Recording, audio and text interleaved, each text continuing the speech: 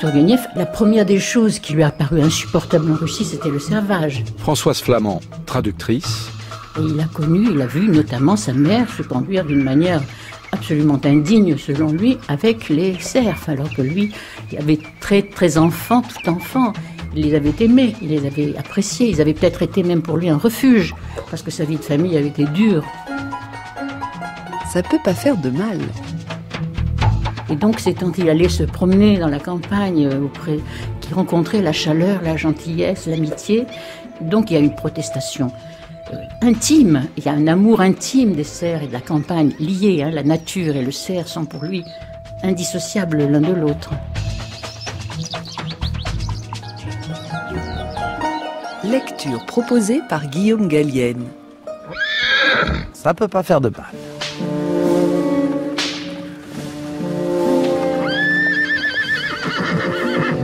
Les lieux qu'il traversait ne pouvaient guère être qualifiés de pittoresques.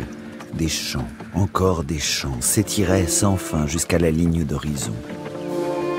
Ici et là, on pouvait voir des rivières aux berges défoncées, de minuscules étangs dont les digues étaient en mauvais état, de maigres villages aux isbas chétives sous leurs toits de chaume sombre, de petites granges toutes de guingois, des églises avec leurs crépis détachés par endroits, avec leurs croix penchées et leurs cimetières délabrés. Arcade sentait son cœur se serrer peu à peu. Tous les paysans qu'il croisait étaient vêtus de guenilles. Les saules et les trembles qui poussaient le long de la route avaient l'air de mendiants en haillons, dépouillés de lambeaux d'écorce. Au beau milieu de la splendeur de cette journée printanière se dressait le fantôme blanc de l'hiver. De l'hiver sinistre, interminable. Avec ses tempêtes, ses gels et ses neiges. Non, pensa Arcade, assis dans la troïka auprès de son père, il n'est pas riche ce pays. Des réformes sont indispensables, mais comment les réaliser? Comment s'y prendre? Ainsi méditait-il, et tandis qu'il méditait, le printemps, lui, s'en donnait à cœur joie. Tout alentour verdoyait d'un vert doré, tout palpitait et brillait généreusement, suavement, au souffle ténu d'une brise tiède. Les arbres, les buissons et les herbes, partout l'air ruisselait du chant sonore, interminable des alouettes. Arcade s'emplissait les yeux de ce spectacle, et peu à peu sa méditation se relâchait, s'évanouissait. Il se débarrassa de sa capote et regarda son père si joyeusement, d'un air si jeune, si petit garçon, que celui-ci de nouveau le serra dans ses bras. Nous ne sommes plus loin maintenant, fit remarquer Nikolai Petrovitch. Tiens, si l'on montait seulement sur cette butte, on verrait la maison, notre demeure de Marino. Nous allons nous entendre à merveille tous les deux, Arcade. Maintenant que tu as fini tes études, tu m'aideras à m'occuper du domaine, pourvu que cela ne t'ennuie pas. Il faut que nous soyons très proches l'un de l'autre, que nous apprenions à bien nous connaître, après trois ans de séparation, n'est-ce pas? Bien sûr, dit Arcade. Mais quelle bonne journée nous avons aujourd'hui. C'est en ton honneur, mon cher enfant. Oui, le printemps est dans tout son éclat. Ce retour du fils prodigue ouvre l'un des plus beaux romans russes du 19e siècle, Père et fils d'Ivan Turgenev. Publié en 1862, un an après l'abolition du servage, le livre incarne le passage de l'ancienne à la nouvelle Russie avec ses espoirs et ses désillusions. Dix ans plus tôt, Turgenev décrivait la vie des paysans russes dans un célèbre recueil de nouvelles, Mémoire d'un chasseur. L'œuvre a été censurée et l'auteur condamné à un mois de prison et cinq ans d'extradition. Contraint à l'exil, l'écrivain partage dès lors sa vie entre la Russie et la France, où il finira ses jours en 1883 à l'âge de 65 ans. Mais revenons en Russie, en 1859, l'année où se déroule l'action de père et fils. Propriétaire terrien aux idées libérales, Nikolai Petrovitch Kirsanov a partagé ses terres avec ses paysans. Ce jour de printemps, l'homme se réjouit du retour de son fils unique, Arcade. Mais celui-ci n'est pas seul. Il est accompagné d'un camarade, un étudiant en médecine, un peu plus âgé que lui, Eugène Bazarov. Partisan du mouvement nihiliste à la mode à l'époque, ce garçon provocateur rejette toute autorité et rêve de faire table rase du passé. À sa publication, Père et Fils fait scandale. car il aborde pour la première fois le conflit des générations qui oppose les pères de la Russie, issus de la noblesse, et les enfants, annonçant le mouvement pré-révolutionnaire. Ouvrons ce roman filial qui se lit comme une fable. Une fable qui, le temps d'une saison incertaine, fait vaciller les certitudes. Une saison trouble aussi, où la jeunesse découvre les promesses et les pièges de l'amour. Découvrons l'ambiance qui règne au domaine de Marino. Deux semaines après l'arrivée des deux jeunes gens, les tensions s'exacerbent entre les pères et les fils. Accueilli au sein d'une famille dont il méprise l'art de vivre, Eugène Bazarov tente d'ouvrir les yeux à son ami et jeune protégé Arcade. Son père, Paul Petrovitch, lui apparaît comme un homme faible qui, depuis qu'il est veuf, s'est amouraché de la servante, Fenechka, dont il vient d'avoir un bébé. Parmi les occupants des lieux, Bazarov ne supporte pas l'oncle, Paul Petrovitch, un vieil aristocrate célibataire qui se donne des allures de dandy anglais. L'étudiant ne se gêne pas pour critiquer ses hôtes, les targant d'hommes dépassés et d'incorrigibles romantiques, tandis que les nihilistes, dont il fait partie, sont des hommes d'avenir, croyant en la science et au progrès. Le jeune médecin rêve de disséquer la société russe comme il dissèque les grenouilles. Puis-je vous poser une question dit Paul Petrovitch, les moustaches frémissantes. D'après vous, les mots canaille et aristocrate ont le même sens? Une opinion que je ne partage pas. Il est de mon devoir de vous le déclarer. L'aristocratisme est un principe et à notre époque, seuls des êtres immoraux ou totalement creux peuvent vivre sans principe. Je disais cela à Arcade le lendemain de votre arrivée et je le répète maintenant devant vous. N'est-ce pas, Nicolas? Nicolas Petrovitch acquiesça et Bazarov absorba paresseusement une gorgée de thé avant de répondre Aristocratisme, libéralisme, progrès, principe, dis donc, que de mots étrangers et inutiles. Rien d'étonnant à ce que les Russes n'en aient aucun besoin. Ces abstractions ne sont pas pour nous. Vous insultez le peuple russe. Je ne comprends pas comment on peut refuser d'admettre des principes, des règles. En vertu de quoi agissez-vous donc? Nous agissons en vertu de ce que nous reconnaissons comme utile. À l'époque actuelle, ce qu'il y a de plus utile, c'est la négation. Donc nous nions. Tout Tout. Comment tout? Non seulement l'art, la poésie, mais même, j'ose à peine le dire, la famille?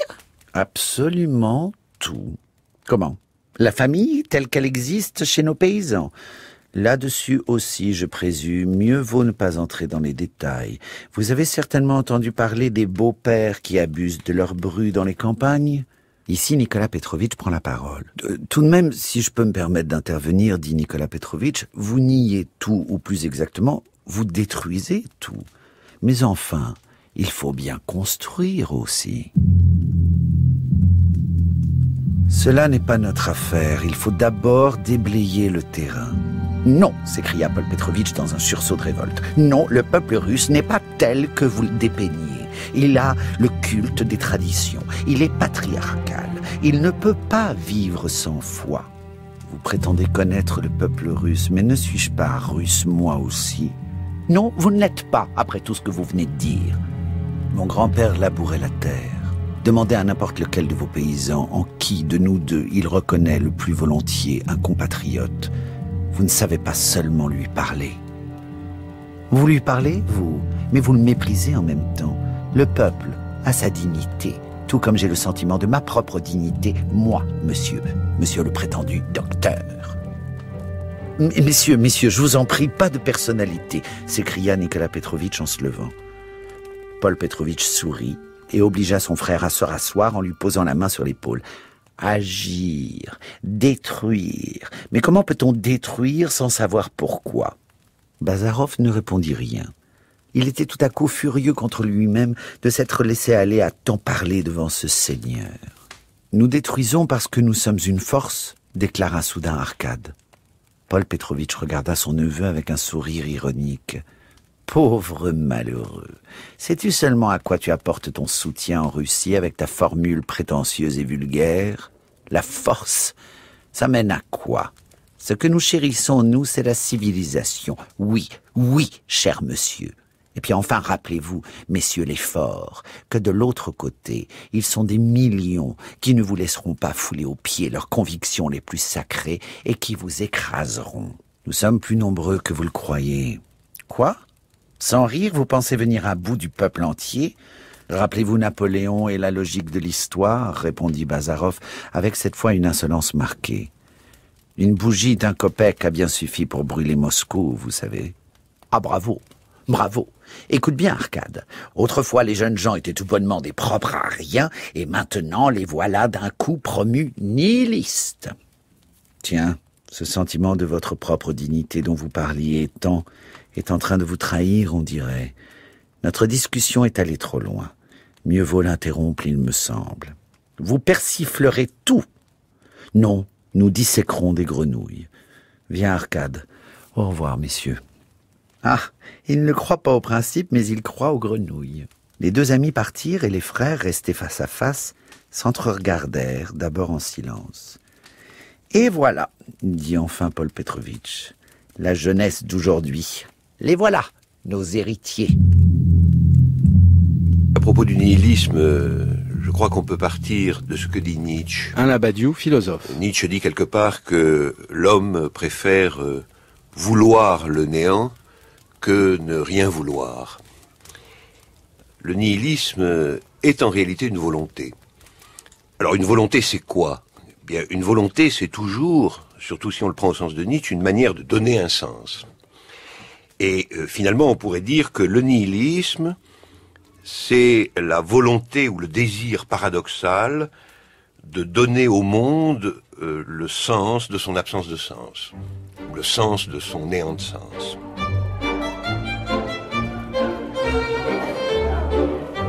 Quelques jours plus tard, nos deux étudiants font leur entrée dans le beau monde. Invités par un parent devenu haut fonctionnaire, Arkad et Bazarov se rendent à la ville voisine, où ils retrouvent par hasard un autre disciple de Bazarov, un certain Sitnikov, fils d'un négociant en vin en tournée dans la région. Ensemble, ils fréquentent le salon d'une courtisane, Madame Kukshin, réputée pour ses idées féministes et socialistes. Nos jeunes gens s'encanaillent, mais aspirent à une meilleure compagnie. Enfin, l'occasion se présente. Ils sont invités au prestigieux bal du gouverneur, où ils espèrent rencontrer la femme la plus convoitée de la ville. Arcade dansait mal et Bazarov ne dansait pas du tout. Ils se casèrent tous les deux dans un petit coin où Sitnikov vint les rejoindre. Celui-ci jetait autour de lui des regards effrontés et apparemment se délectait de la fête. Soudain, il changea de visage, se tourna vers Arcade et lui dit avec une sorte d'embarras Madame Odinsov est là. Arcade leva les yeux. Une femme de haute taille en robe noire venait de s'arrêter à l'entrée de la salle. Il fut frappé par la dignité de son maintien. Ses bras nus retombaient gracieusement le long de son corps harmonieux. Elle était très belle, avec ses cheveux brillants ornés de légères tiges de fuchsia dont les clochettes caressaient ses épaules un peu tombantes. Le regard de ses yeux clairs était tranquille et intelligent. Oui, tranquille et non pas rêveur, sous son grand front blanc légèrement proéminent, et ses lèvres souriaient d'un sourire presque imperceptible. Il émanait de son visage une force caressante et douce. Sitnikov conduisit Arkad auprès de Madame Odintsov. Elle lui demanda s'il était bien le fils de Nikolai Petrovitch, mais à cet instant, un aide de camp parut tomber du ciel à ses côtés et l'invita à danser. Elle s'éloigna en regardant Arkad, sinon de haut, du moins comme une grande sœur mariée aurait regardé son très jeune frère. Madame Ondintsov n'était guère plus âgée qu'Arcade, elle avait 29 ans, mais en sa présence on se sentait devenir un écolier, un petit étudiant de rien du tout, comme si leur différence d'âge était beaucoup plus importante. Un haut fonctionnaire s'approcha d'elle avec un air majestueux et des paroles flatteuses. Arcade se retira à l'écart, mais il continua de l'observer. Elle parlait à son danseur aussi librement qu'elle avait parlé au dignitaire. Elle tournait la tête, les yeux, avec une douceur tranquille. Une ou deux fois, elle rit doucement. Arcade conclut à part soi qu'il n'avait encore jamais rencontré de personne aussi charmante. Le son de sa voix demeurait à ses oreilles. Les plis même de sa robe semblaient chez elle retomber autrement que chez les autres femmes, avec plus de grâce et d'ampleur, et ses mouvements étaient tout à la fois remarquablement harmonieux et naturels. Elle revenait, se rasseyait, prenait son éventail sans même que sa respiration parût accélérée, et Arcade se remettait à bavarder, tout pénétré du bonheur de se sentir près d'elle, de lui parler en regardant son beau front, tout son visage charmant, grave, intelligent. De son côté, elle parlait peu, mais certaines de ses remarques confirmèrent Arcade dans l'idée que cette jeune femme avait déjà une longue expérience du cœur et de l'esprit. Qui donc était à côté de vous quand M. Sitnikov vous a conduit près de moi lui demanda-t-elle. Vous l'avez remarqué l'interrogea à son tour Arcade. C'est un nommé Bazarov, un de mes camarades. Arcade se mit à parler de son camarade. Cependant, la mazurka touchait à sa fin. Arcade fut saisi de regret à l'idée de devoir quitter sa cavalière. La musique s'arrêta. Merci, dit Madame Odinsov en se levant. Vous m'avez promis de me rendre visite. Amenez donc avec vous votre camarade. Cela m'intéressera beaucoup de voir un homme qui a l'audace de ne croire à rien.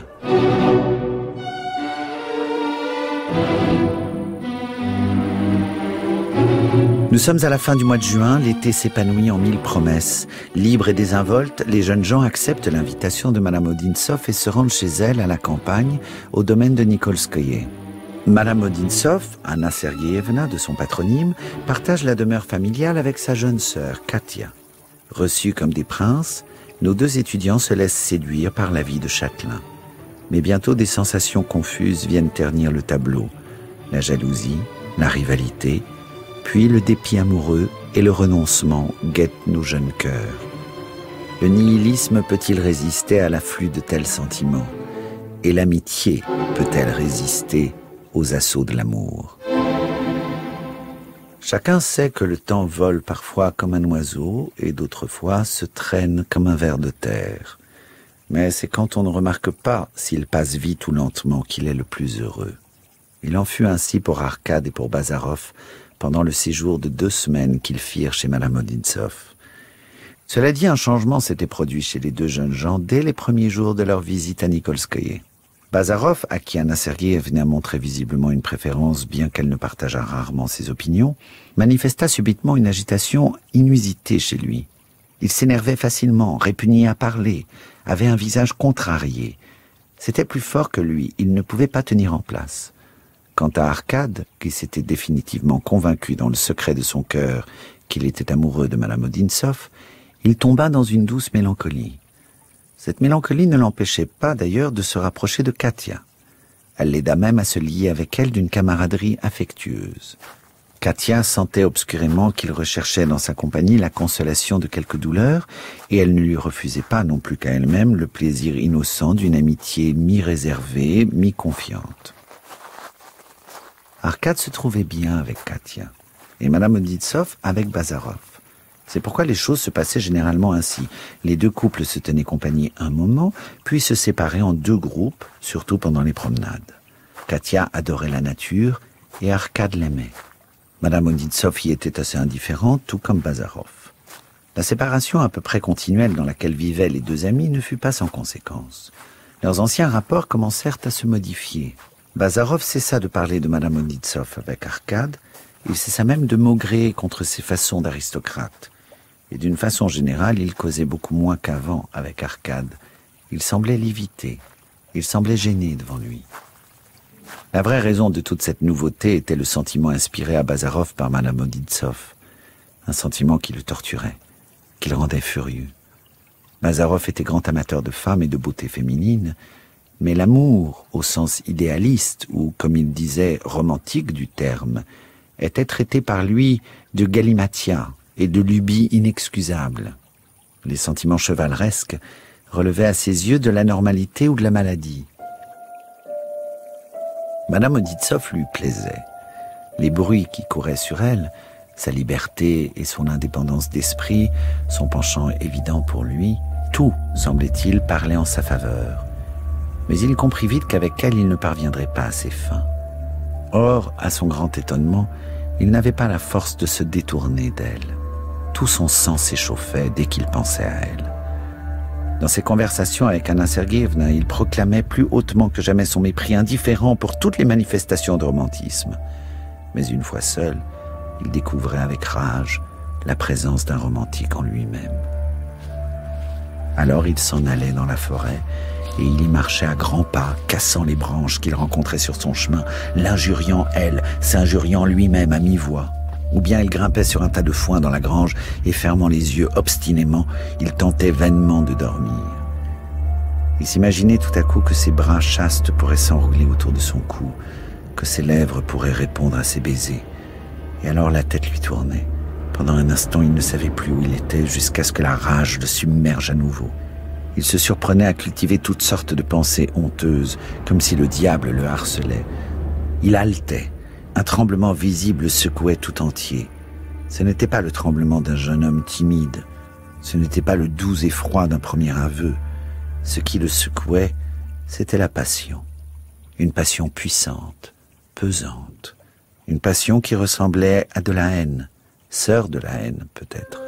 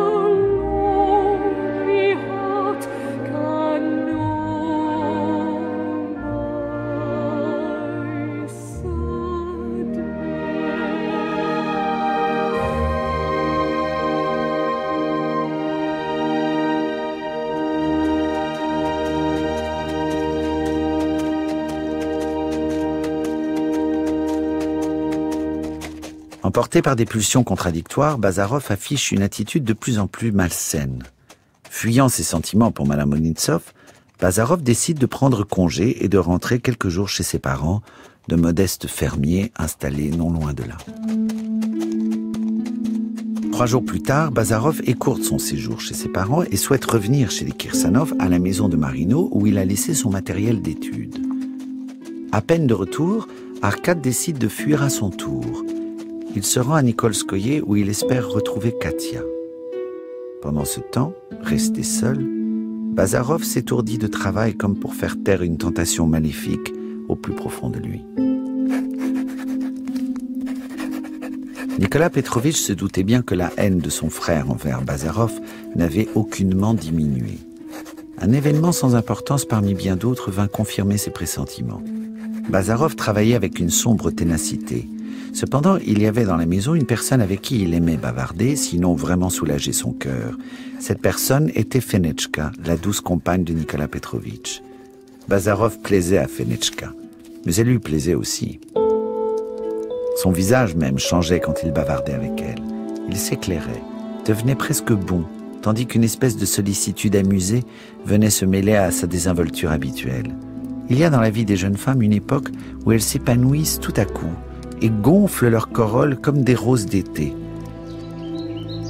Cette époque était arrivée pour Fenechka. Tout concourait à son éclat, même la chaleur torride de ce mois de juillet. Un matin, à 7 heures, Bazarov, qui revenait de promenade, trouva Fenechka sous la tonnelle d'acacia, qui restait verte et fournie, bien que ses fleurs fussent depuis longtemps fanées. Elle était assise sur le banc, un fichu blanc sur la tête selon son habitude. Toute une brassée de roses rouges et blanches, encore humides de rosée, gisait à côté d'elle. Elle lui souhaitait le bonjour. Ah, Eugène Vassilievitch, dit-elle en relevant un peu le bord de son fichu, ce qui eut pour effet de dénuder son bras jusqu'au coude. Que faites-vous là? Un bouquet? Oui, pour orner la table dit déjeuner. Nicolas Petrovitch aime bien cela. Vous savez au fait que depuis que vous m'avez donné ces gouttes, vous vous rappelez ce que mon petit bébé dort bien. Je ne sais vraiment pas comment vous remercier. Vous êtes si bon, c'est vrai. Eh, mais sérieusement, cela se paye, les médecins, dit Bazarov avec un sourire moqueur. Vous savez comme ils sont intéressés, ces gens-là. Fenichka leva les yeux sur Bazarov. Elle ne savait pas s'il plaisantait ou non. Si vous y tenez, il faudra demander à Nicolas Petrovitch. Mais qu'allez-vous penser? Que je veux de l'argent? l'interrompit Bazarov. Non, ce n'est pas de l'argent que j'attends de vous. Quoi alors? Quoi? Devinez dit Bazarov. Comment voulez-vous que je devine? Alors je vais vous le dire. Il me faut une de ces roses. Fenechka se mit à rire et même joignit les mains tant le désir de Bazarov lui parut plaisant. Elle riait, mais cela ne l'empêchait pas de se sentir flattée. Bazarov la regardait avec insistance. Mon Dieu, si vous y tenez, dit-elle enfin, et penchée sur le banc, elle se mit à choisir parmi ses fleurs. Tenez, dit-elle. Mais tout de suite, elle retira la main qu'elle avait avancée, et, se mordant les lèvres, jeta un coup d'œil vers l'entrée de la tonnelle, puis elle tendit l'oreille. Qu'est-ce demanda Bazarov. Nicolas Petrovitch? Non, il est parti au champ. Et puis je n'ai pas peur de lui. Mais Paul Petrovitch, il essaye tout le temps de m'effrayer. Et cette manière bizarre qu'il a de me regarder, vous non plus, vous ne l'aimez pas d'ailleurs. Rappelez-vous comme vous vous disputiez sans arrêt avant. Bazarov sourit. Ah oui, nos disputes.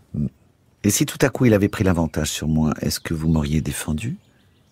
Moi, vous défendre? Quelle idée et puis d'ailleurs, vous n'êtes pas homme à vous laisser faire, croyez-vous? Moi, je connais une main qui me renverserait d'un doigt si elle le voulait. De quelle main parlez-vous? Comme si vous ne le saviez pas.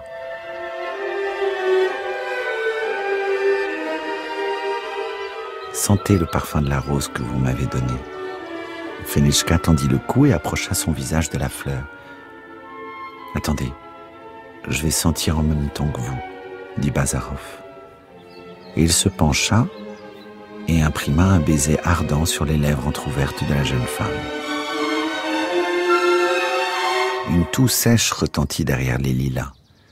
Fenechka s'écarta instantanément jusqu'à l'autre extrémité du banc. Paul Petrovitch apparut et fit un petit salut de la tête. En voyant Bazarov, il dit simplement Ah, vous êtes ici avec une sorte d'accablement haineux et s'éloigna. Fenechka eut au fait de ramasser toutes ces roses et de quitter la tonnelle. C'est mal à vous, Eugène Vassilievitch, murmura-t-elle en s'en allant. Et le reproche contenu dans ce murmure n'était pas fin. Quant à Paul Petrovitch, il sortit du jardin et gagna la forêt. Il y resta longtemps.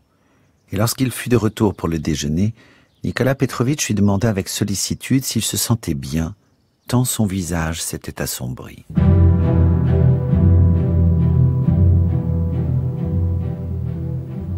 L'étudiant mesure bientôt les conséquences de son badinage. Le soir même, pour sauver l'honneur de son frère, Paul Petrovitch se rend auprès de Bazarov et le provoque en duel. Rendez-vous est pris pour le lendemain matin à l'aube en présence d'un témoin, Pierre, le valet de chambre de Nikolai Petrovitch. Retrouvons nos deux duellistes en piste pour un ultime face-à-face chevaleresque. Au-delà du règlement de compte, cette épreuve réveille chez Paul Petrovitch le souvenir douloureux d'un amour perdu. Sur le chemin, Bazarov s'égarait par moments malgré lui. Il arrachait et mordillait des brins d'herbe tout en se répétant à lui-même Quelle idiotie. Le froid mordant du petit matin le fit frissonner une ou deux fois. Voici venir monsieur, je crois, chuchota brusquement Pierre. Bazarov leva la tête et vit Paul Petrovitch. Habillé d'un veston léger à carreaux et d'un pantalon blanc comme neige, il avançait sur le chemin d'un pas rapide. Il portait sous le bras une boîte enveloppée de drap vert. Excusez-moi, je vous ai fait attendre, ce me semble. Pas du tout, nous venons à peine d'arriver. Ah, tant mieux. Personne en vue. Voici les armes. Nous pouvons commencer Faisons preuve d'amabilité. Reconnaissez, Paul Petrovitch, que notre duel est d'un insolite frisant le comique. Vous cherchez toujours quelques sujets de plaisanterie. Je pourrais vous expliquer la raison qui me fait agir, mais je préfère la passer sous silence. Oh, je ne doute pas que nous soyons bien décidés à nous exterminer mutuellement. Je trouverais également malséant d'approfondir les causes réelles de notre conflit. Mais pourquoi ne pas en rire si l'occasion s'en présente? Je me battrai sérieusement, dit Paul Petrovitch en allant prendre sa place. Comme convenu, Bazarov compta dix pas à partir de la barrière et s'arrêta. Vous êtes prêts? demanda Paul Petrovitch. Tout à fait. Nous pouvons nous rapprocher. Bazarov s'ébranla lentement et Paul Petrovitch marcha sur lui, la main gauche dans la poche, en levant progressivement la bouche du revolver.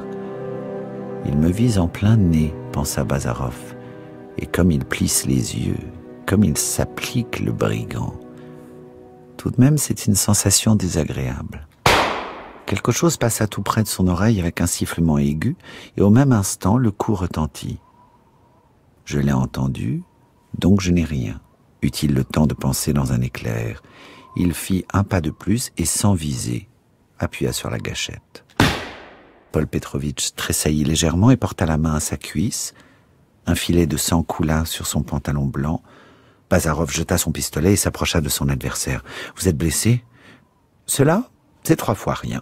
Selon nos conventions, chacun de nous a encore droit à un coup. Si vous le permettez, nous le remettrons à une autre fois, répondit Bazarov. Et il recueillit Paul Petrovitch qui commençait à pâlir. Maintenant, je ne suis plus duelliste, mais médecin. Et avant tout, je dois examiner votre blessure. Pierre, viens par ici. Où es-tu caché? Monsieur est tué questionna Pierre derrière son dos d'une toute petite voix tremblante. Paul Petrovitch perdit un instant connaissance, puis rouvrit lentement les yeux. Mais va donc chercher de l'eau, que diable cria Bazarov. Inutile, j'ai eu un instant de vertige. Aidez-moi à m'asseoir. Comme cela. Il suffit de comprimer cette égratignure et je rentrerai à pied à la maison. Notre duel ne se renouvellera pas si vous êtes d'accord. Vous avez agi avec noblesse ce matin. Ce matin seulement. Notez-le bien. Nous n'allons pas revenir sur le passé, répondit Bazarov. Et en ce qui concerne l'avenir, inutile là encore de se casser la tête, car j'ai l'intention de filer d'ici sans tarder. Laissez-moi pour le moment vous bander la jambe. Votre blessure n'est pas dangereuse. Pierre partit comme une flèche. Les deux adversaires restèrent assis par terre sans se parler. Paul Petrovitch essayait de ne pas regarder Bazarov. En dépit de tout, il n'avait pas envie de se réconcilier avec lui. Il était honteux de son arrogance, de son échec. Le silence s'éternisait, un silence lourd et gênant. Puis Paul Petrovitch murmura ⁇ Mon frère ne s'y trompera pas. Il faudra lui dire que nous nous sommes querellés à propos de politique. Très bien, dit Bazarov. Vous pouvez lui dire que j'ai insulté tous les anglomanes.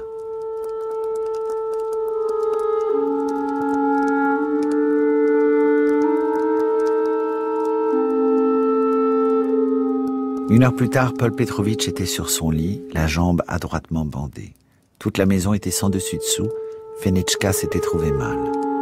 À l'approche de la nuit, toutefois, la fièvre se déclara. Il fut pris de maux de tête.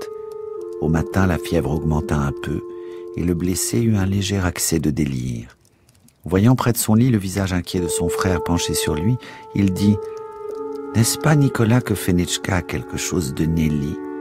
Quelle Nelly, mon petit Pacha? Quelle question. Mais la princesse Nelly, que j'avais tant aimée dans ma jeunesse, surtout dans le haut du visage, n'est-ce pas?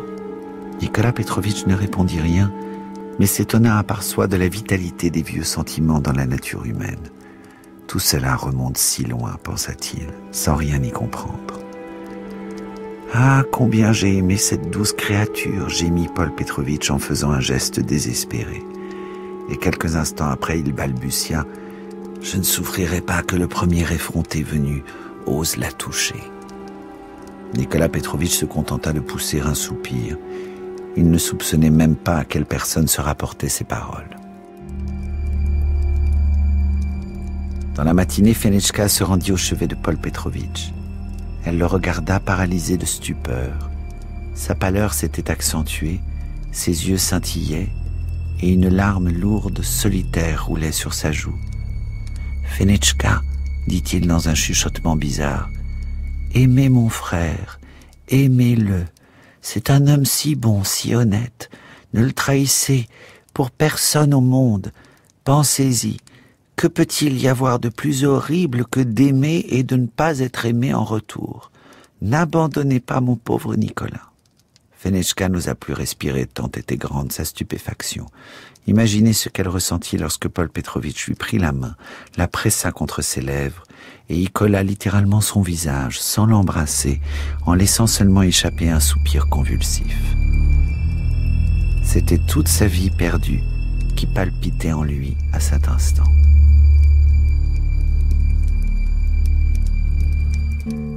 Ça peut pas faire de mal. Lecture proposée par Guillaume Gallienne. Кен полосонька твоя Нынче выженется Чернокосонька моя Чернокнижница.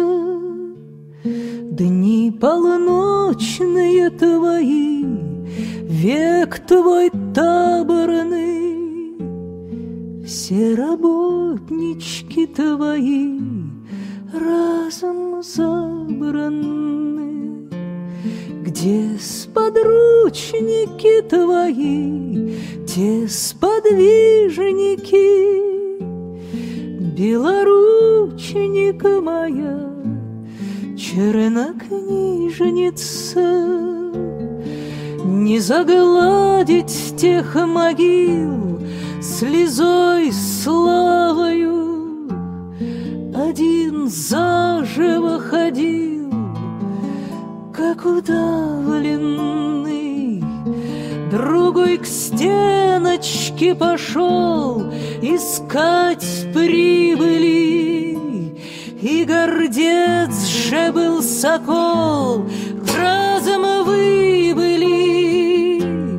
Высоко твои братья, не докличешься, Яснооконика моя, чернокнижница, А из тучи-то хвала, диво дивная, Соколиная стрела, голубиная, Знать в два перышка тебе пишут там отка, Знать уж в скорости тебе выйдет грамотка, Будет крылышки трепать об лыжники, Чернокрылника моя,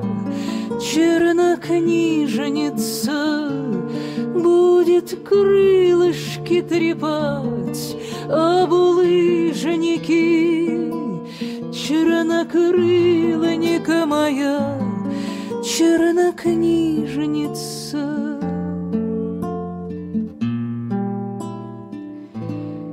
Кем полосоника твоя нынче выженится, чернокосоника моя, чернокнижница?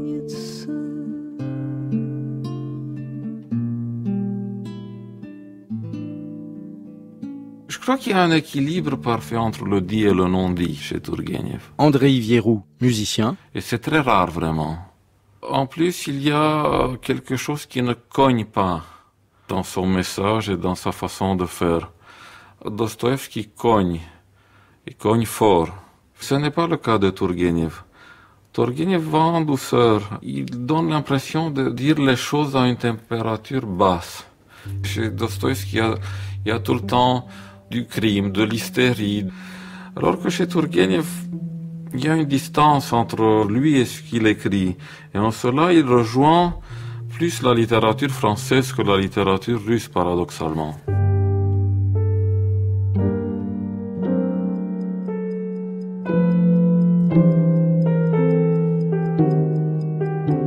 La grande leçon du roman de Turgenev est une leçon de vie avec son lot de désillusions et le difficile apprentissage du renoncement. Retrouvons Eugène Bazarov. Le lendemain du duel, il tient sa promesse et quitte la maison bien décidé à retourner auprès de ses parents. Cependant, en chemin, il fait un détour par Nikolskoye, le domaine de Madame Odintsov, afin d'informer son ami des tristes événements. Mais Arcade a la tête ailleurs. Il vient de déclarer sa flamme à Katia et de la demander en mariage. Avec une fausse désinvolture, Bazarov renonce définitivement à l'amour d'Anna Sergeyevna. Le jour du départ sonne comme une rupture, violente et radicale, entre les deux amis. Au moment de se dire adieu, Bazarov affiche toujours le même goût de la provocation et s'entête dans la cause nihiliste.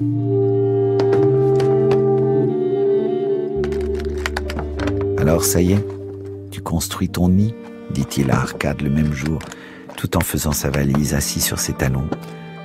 Ma foi, c'est une bonne chose. Mais tu n'aurais pas dû raconter toutes ces blagues. Je m'attendais à ce que tu prennes un tout autre cap. À moins que tu n'aies été le premier épaté de ce qui t'arrivait. Je ne m'attendais pas à cela, en effet, quand je t'ai quitté, répondit Arcade. Mais pourquoi racontes-tu des blagues, toi aussi?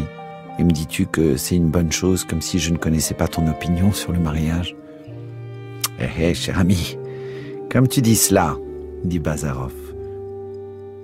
Tu vois ce que je suis en train de faire? Il y avait une place vide dans ma valise. Alors j'y mets du foin. Dans la valise de notre vie, c'est pareil. Tassons-y n'importe quoi. L'essentiel est de combler le vide. Ne te vexe pas, je t'en prie.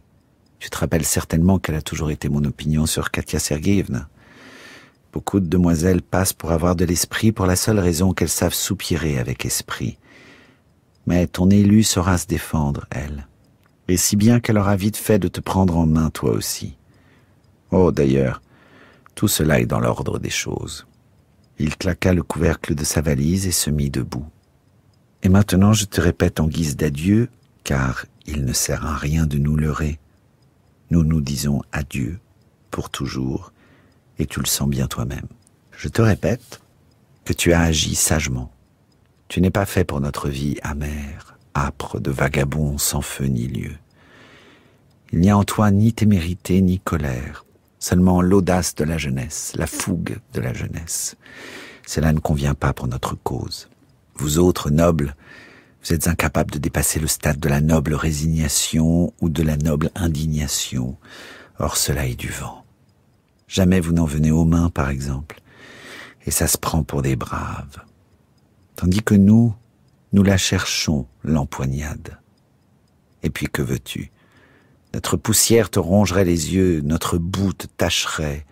Et puis non, allez, tu n'as pas encore atteint notre envergure, tu t'admires, à ton corps défendant. Cela te plaît de t'insulter toi-même. Nous, ça nous ennuie. C'est aux autres que nous en avons. Ce sont les autres que nous voulons briser. Tu es un brave garçon, mais cela ne t'empêche pas d'être un petit nobléon de seigneur libéral. Voilà tout. Tu me dis adieu pour toujours, Eugène, et tu n'as pas pour moi d'autres paroles que celle-ci? demanda Arcade d'une voix triste. Bazarov se gratta la nuque. Si, Arcade, j'en ai d'autres paroles. Mais je ne les dirai pas, parce que ce serait du romantisme. Ce serait donné dans le sirop. Marie-toi bien vite. Arrange-toi un bon petit nid et fais des enfants, tant et plus. Ils seront dégourdis, tout simplement parce qu'ils seront nés au bon moment, ce qui n'a pas été ton cas ni le mien. Eh. Eh, mais les chevaux sont prêts ce que je vois, c'est l'heure. J'ai fait mes adieux à tout le monde. Bon alors on s'embrasse ou quoi? Arcade se jeta au cou de son ancien mentor et ami, et les larmes lui jaillirent des yeux. Ce que c'est que la jeunesse, dit Bazarov sans s'émouvoir. Mais je compte sur Katia Sergeyevna. Elle te consolera en un tournement, tu verras. Adieu, frère.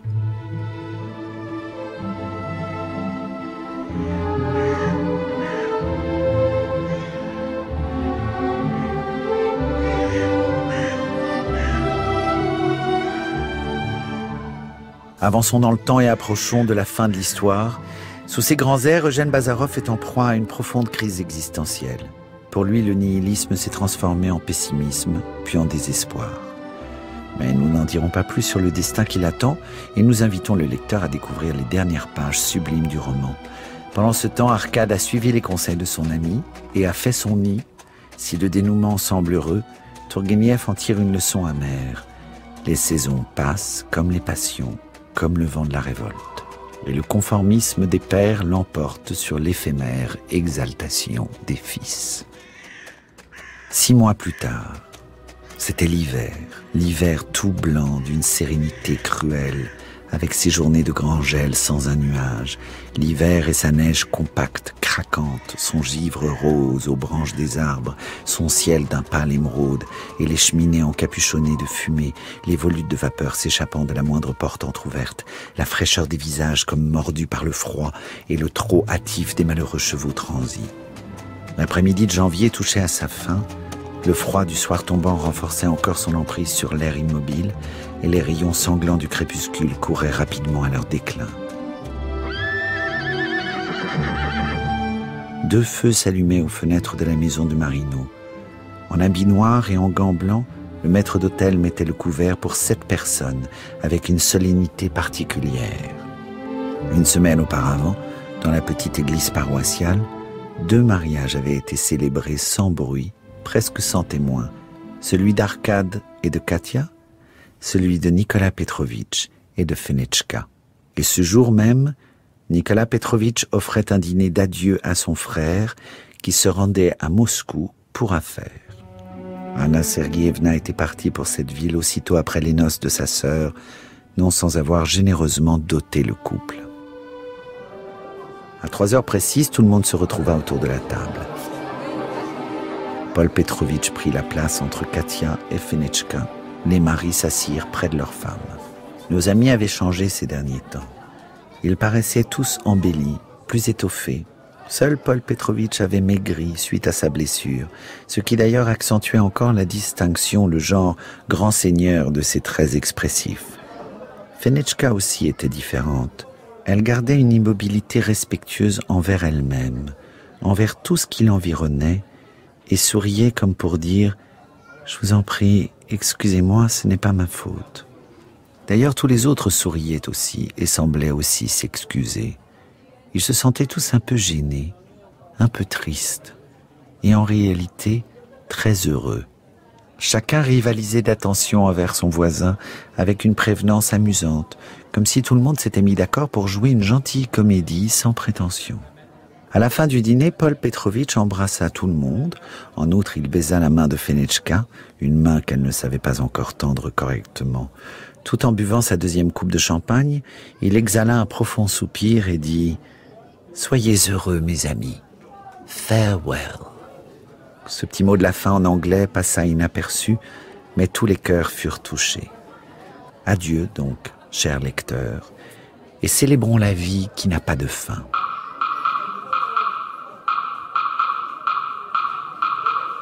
Ça peut pas faire de mal.